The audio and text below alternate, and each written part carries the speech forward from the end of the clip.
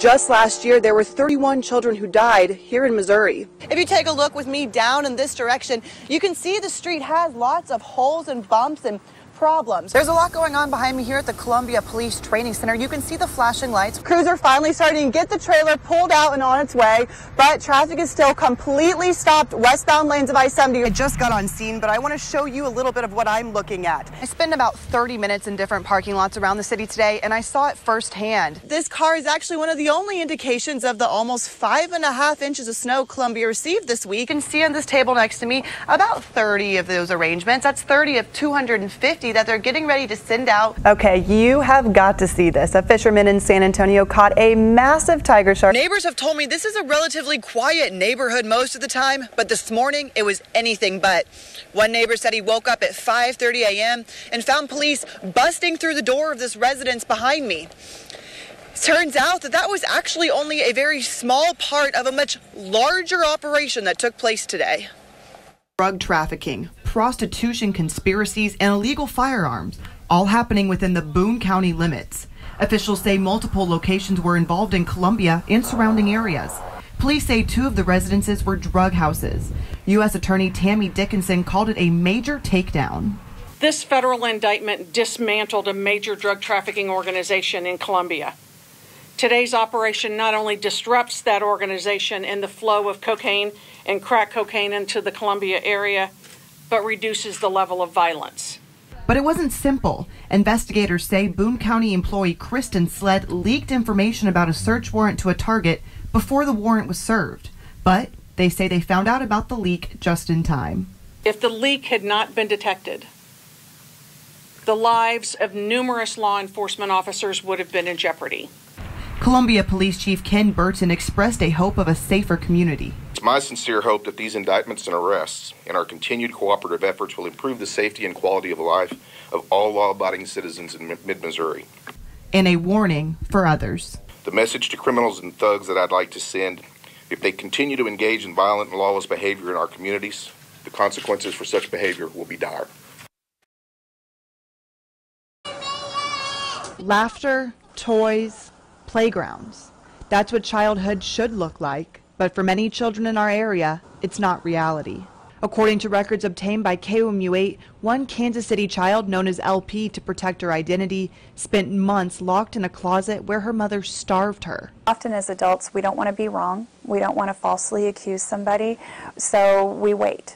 And that puts children's lives at risk. The 10-year-old weighed only 32 pounds when police discovered her. I asked the state for documents surrounding her case, and I got over 500 of them. This is what I found. LP had a stack of problems, which started long before the Children's Division got involved. We've seen cases where there have been some indications that something has been going on with that child um, and maybe the report was not made initially. During the first hospitalization, doctors said LP showed signs of malnutrition and issues of neglect.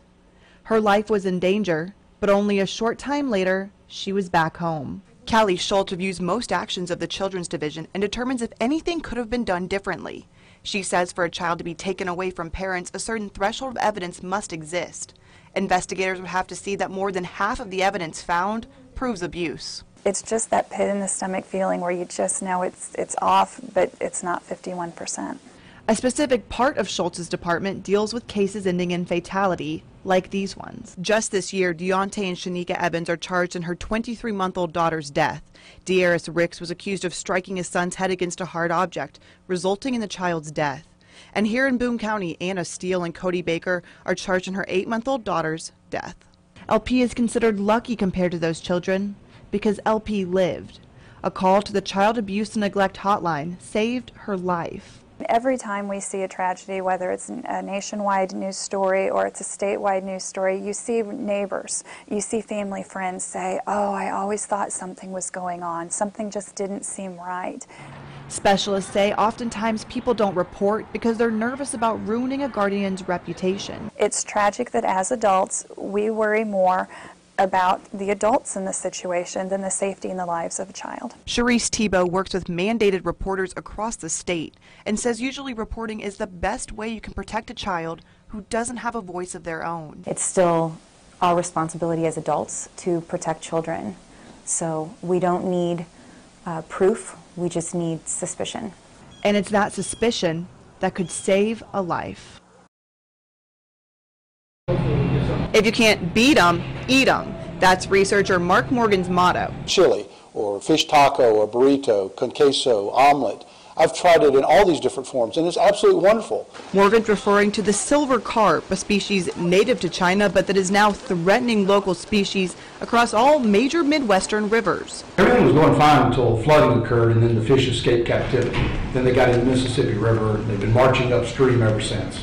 More than marching, they're flying. You may have seen video like this from around Missouri, and conservationists say they need to go. Have the, the biological or ecosystem um, issues of them competing with our native fish, but you also have the sociological thing. They're, they're competing with things that anglers are more interested in catching. So now Morgan plans to get rid of them one bite at a time. Silver carp can be served in a variety of ways, and this is what makes it really fun and interesting because you can put it in food products that people don't normally think of that would be acceptable for fish. Morgan developed recipes, conducted taste tests, and invited local businesses to join the cause too. But he has seen some hesitation. Well, most of the time people think about carp as a bottom feeder, feeder and they have a negative perception of it automatically. A trend Travnicek encourages against. Give it a chance. Uh, have an open mind. Uh, you, you'll probably be surprised. And, like predicted, after people try it, they seem to enjoy it. When served Asian carp, most people don't know initially, but then when they find out later, they're totally surprised. They cannot believe that it's a fish product. And then when I tell them carp, it's even, even more surprising. So Morgan won't give up anytime soon. It's an ugly fish, there's no doubt about that. It's bony, but I can resolve all those problems. Once you put it in a tube, um, cook it in a pan, you don't remember what it used to look like. And if helping people forget what it looks like gets the fish out of the rivers, Morgan's up for the challenge. Rule number one, follow directions quickly. When you walk into Mrs. Newrohr's classroom, you see color, you see students, and you see learning. But it's what you don't see that has her determined to change teaching in Columbia. I think poverty is a very real part of our job now and dealing with these types of students, and oftentimes they're so misunderstood. Christina Newrohr sees that firsthand. It shows up as being more explosive, they love less patience. Some teachers call it learned helplessness, but really what it is is just a product of their environment, and so what we need to do is modify our teaching instruction in order to support those kids. She says it's all about engaging the children. Rule number five. Rule number five. Keep your teacher happy. And understanding where they come from, but not lowering expectations. One of the big things we're focusing right now is thinking about empathy versus sympathy. 12 Columbia teachers attended a conference this summer where they learned tools for teaching students who grow up in poverty. Our teacher leaders are the ones that are paving the way for so many of our new initiatives in CPS. And this is one I think Columbia as a whole we can't ignore. Newrohr believes in the power of teachers. Teachers make a difference, and they are the single greatest difference maker in a child's life. And that's a difference she sees every day. Reporting live in Auxvasse, in Boonville, in Cole County, in Morgan County, in Fulton, in Ashland, in Columbia, in Jefferson City, Shay McAlister, KOMU 8 News.